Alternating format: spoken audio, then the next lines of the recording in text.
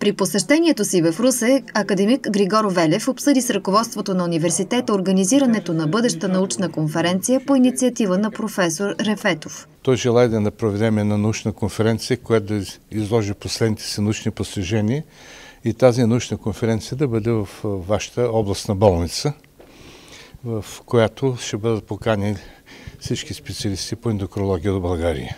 Професор Самуил Рефетов е роден в Руса през 1937 година. През 1949 семейството му емигрира.